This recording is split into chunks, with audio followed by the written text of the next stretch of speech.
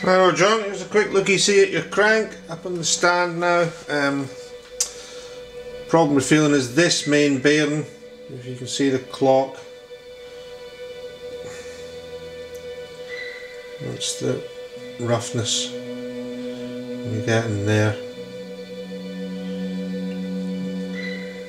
Bit of run out and that's the kind of bump bump I'm feeling in the cases as I turn the crank just there, see? It's also been rubbing here and there's a, third pile of run out. It's uh, way out of spec. You can see the roughness, the way the needles jumping about, you can see the roughness from the main bearings. So, press the crank apart, give it all a good clean uh, and replace the mains.